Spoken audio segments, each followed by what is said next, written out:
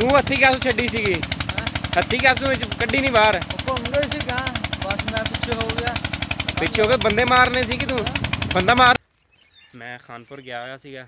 ਮੇਰਾ ਲੋਰੀ ਭਾਈ ਟੂਲ ਚਲਾਉਣ ਗਿਆ। ਤੇ ਇਹ ਪੱਖੇ ਨੂੰ ਬਿਠਾ ਡੋਰੀ ਦਿੰਦਾ ਪਿਆ ਸੀਗਾ। ਤੇ ਇਹਨੇ ਪੱਖੇ ਦਾ ਕੰਮ ਤਮਾਮ ਕਰ ਰੱਖਿਆ। ਪੱਖੇ ਦੇ ਨਟ ਟੁੱਟ ਸਾਰਾ ਕੁਝ ਤੋੜ ਤੋੜ ਰੱਖਿਆ ਵਾ।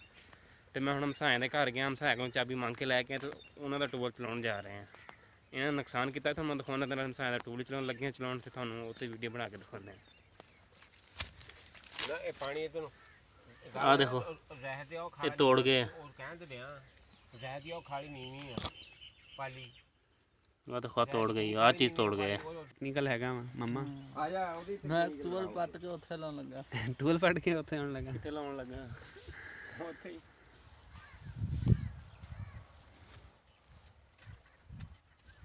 ਆ ਕੇ ਚੱਲ ਜਾਵੇ ਮੰਡਲ ਪਹਿਲੇ ਨਾਲ ਦੇ ਬਾਈ ਦੇ ਗਲਾ ਨਹੀਂ ਚੱਲ ਨਿਕਲ ਉਹ ਗੱਲ ਹੋਰ ਨਹੀਂ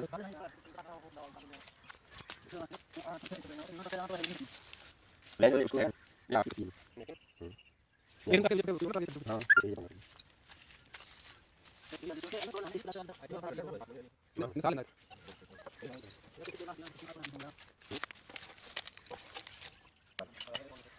Terima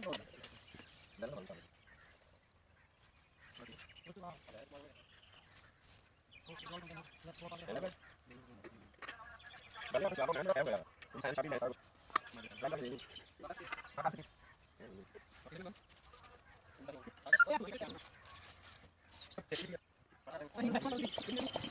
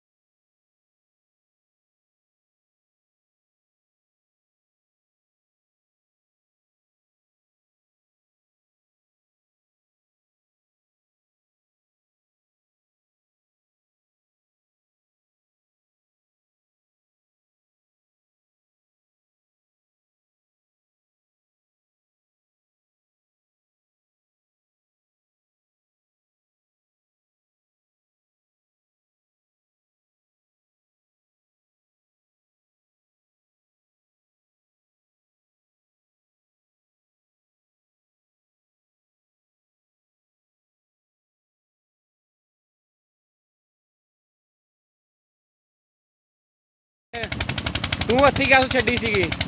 ਹੱਥੀ ਕਾਸੂ ਵਿੱਚ ਕੱਢੀ ਨਹੀਂ ਬਾਹਰ। ਘੁੰਮ ਗਏ ਸੀ ਗਾਂ ਬਸ ਮੈਂ ਪਿੱਛੇ ਹੋ ਗਿਆ। ਪਿੱਛੇ ਹੋ ਕੇ ਬੰਦੇ ਮਾਰਨੇ ਸੀ ਕਿ ਤੂੰ ਬੰਦਾ ਮਾਰਨਾ ਸੀ ਕਿ ਤੂੰ। ਤੂੰ ਅੱਗੇ ਖੜਾ ਸੀਗਾ।